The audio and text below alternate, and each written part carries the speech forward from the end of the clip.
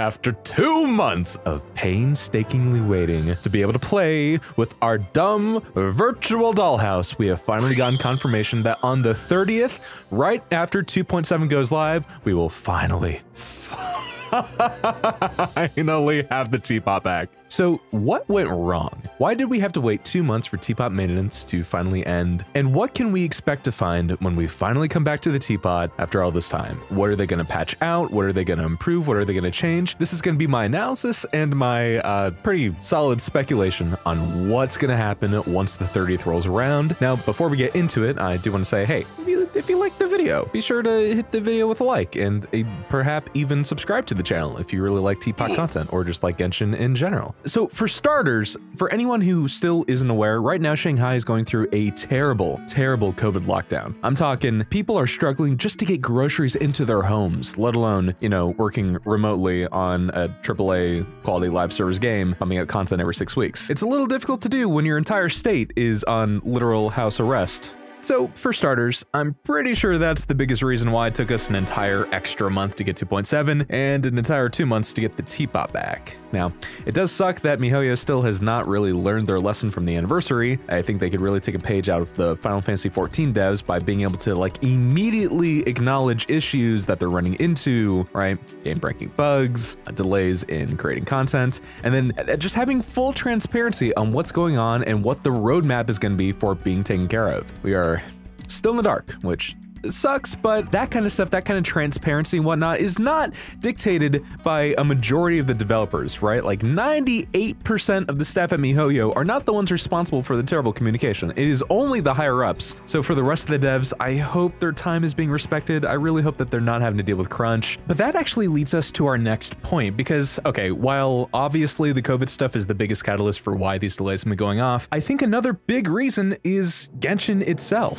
Genshin Impact, the content content machine. Okay, I'm about to kind of armchair theorist you, so uh, get prepared. Okay, sit down, grab a drink, grab a snacky. I don't know why. because I have, for the longest time now, been very concerned about the devs, and specifically like the crunch environment that MiHoYo may or may not have. Because let's face it, as much as people will bemoan the actual content we end up getting, Genshin is insane. I mean, I've never seen a live service game that pumps out the amount of content that Genshin does every six weeks like clockwork. No other game, in my experience, has even come close to the amount of output that Genshin receives and and how much varied content at that is being introduced. I mean, it feels like every update we get some new gameplay mechanic or like some new side activity that gets stacked onto the rest. And I feel like this might be another big issue on why it's taking so long for the teapot maintenance to go down. Okay, my theory is back when the teapot was originally introduced into the game, I imagine that they probably didn't have a lot of time to really implement it and get it all ironed out. It's not an easy thing to code and build up an entire like house and environment editor in just a couple months or, you know, however long the turnaround period for the teapot ended up being. My crackpot theory is that the teapot was probably founded on just an absolute spaghetti pile mess of code, just something stitched together, patched together, barely functional so that they could get it out the door in time for whatever update it was that that was introduced. What was that, like 1.4, 1.5, whatever it was. I think the spaghetti code is the reason why we have so many different teapot exploits to begin with, right? I think the reason why we have clipping and floating and sinking is that there just wasn't a lot of testing going on. There wasn't a lot of ironing out to be done because the pacing of the six week content release cycle was just too much for them to really put in the quality, you know, QA to sort any of those bugs out. And hey, thank God for that because hey, clipping, floating, sinking are all amazing. And they like exponentially improve the experience of the teapot. But I think we wouldn't have gotten those if creating the teapot and implementing the teapot wasn't as rushed as it was to begin with. I think as time has gone on, right, they've added more and more different furnishings and also like more furnishings that also double as different side activities with leaderboards and other mini games. And I think it's gotten to the point where it's just too much of a mess. Maybe they were testing out this new event and trying to implement the side quest into the teapot and they were running into a lot of debilitating issues that was founded because of the spaghetti code. And I think they've just gotten to a point now where where if they try adding or changing one thing on the teapot, it ends up screwing up and just completely breaking the rest of it, which again is something that's like very common when you have these enormous coding projects that aren't really cleaned up well. So I think this period has been them just trying to basically redo it from the ground up, really put in the work to optimize it and make it functioning how it should be functioning. Now, what are going to be the consequences of this, right? When we actually finally do get the teapot back, what else is going to be changed? Okay, I have a couple ideas. Let's go over the worst case scenario. So, worst case scenario, they end up patching out clipping, floating, and sinking the big three. End of the day, they are exploits, they aren't intentional, although I would like to make an argument that clipping at least is integral to the teapot. I mean, we literally have rocky landforms that were meant and like hard-coded in to be clipped together, and on the teapot's official guide over on HoYoLab, they even detailed exactly how to clip other furnishings together by placing them on top of rocky landforms and then clipping the rocky landforms together, right? Like that is a core part of the teapot that was intended and meant to happen. So if any of the big three aren't going to be changed, I, I think it's clipping. I think like shake clipping fundamentally does not change how the teapot was meant to be experienced. Really, all it does is it just lets us clip stuff on the ground and not just on rocky landforms. And It helps us save a little bit of load. It's a little bit convenient. Granted, it also gives us debilitating arthritis, but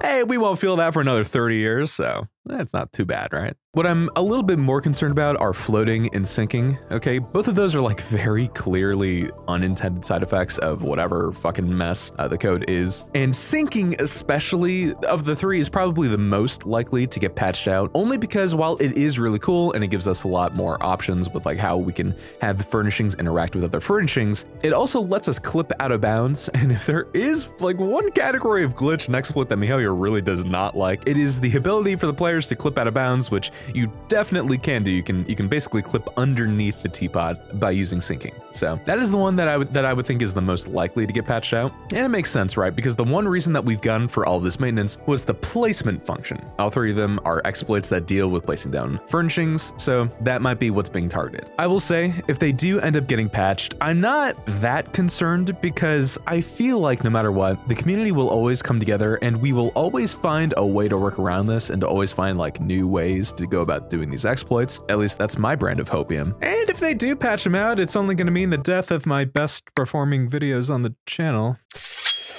Mm, Ooh, oh, it's cool.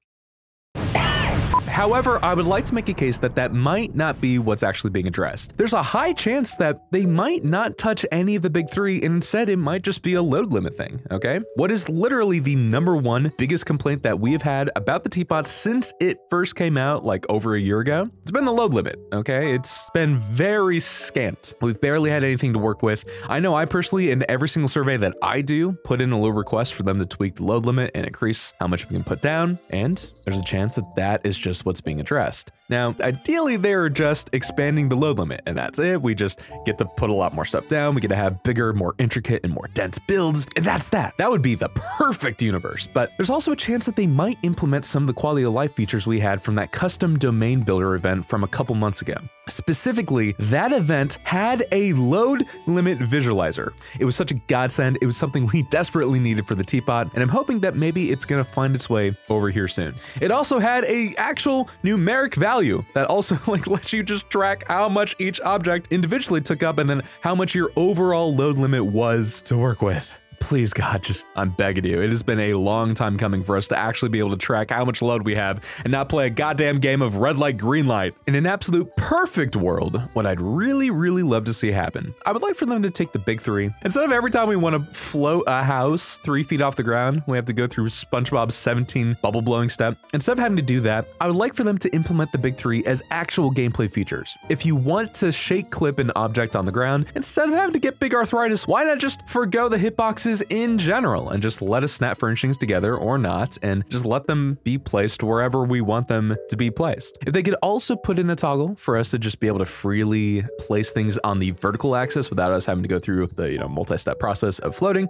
that would be awesome. Okay, again, the custom domain uh, builder showed us how easy it could be when we can just freely edit stuff on the y-axis. So hopefully that's getting implemented too. And hopefully the load limit itself is getting optimized. Hopefully we are either being able to place more stuff down, or at the very least, we're getting a UI update so we can actually see how much we have left to work with, which can at least help a little bit with us planning stuff out and not feeling so blindsided when the load limit does encroach on us. Side note, it'd also be pretty nice if like things like companions or interactable objects, uh, mini games, right? If the load that those categories of objects took up was just like a lot less, that would be great too. Maybe that's what's being tweaked because again, the event has to deal with us taking our companions and putting them into the teapot. So maybe this all stemmed from this trying to to optimize the amount of load that companions took up, and then that stemmed to them trying to optimize the rest of the load that like other objects were taking up. I don't know. Again, it sucks that we're left in the dark. It sucks that there's really not any transparency, but I think that's a pretty solid foundation